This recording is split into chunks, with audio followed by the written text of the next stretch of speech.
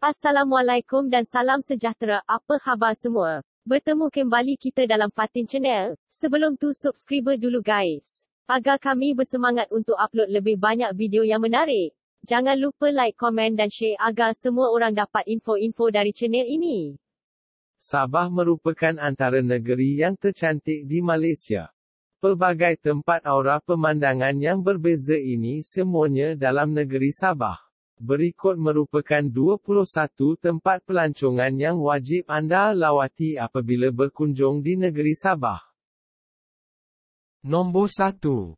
Mesilau Kundasang. Nama mesilau ini diambil dari Sungai Mesilau.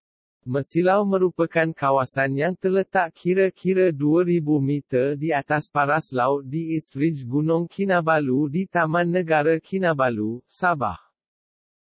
Mesilau dikenali ramai sebagai pusat pelancongan ia mempunyai kekayaan khazanah alam semula jadi.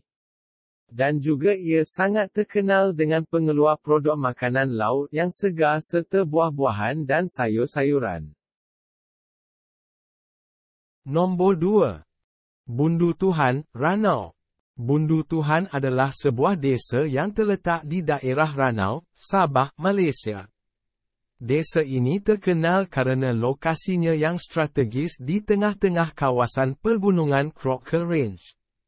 Dan memiliki pemandangan alam yang indah, sehingga sering dijadikan sebagai tempat pelancongan.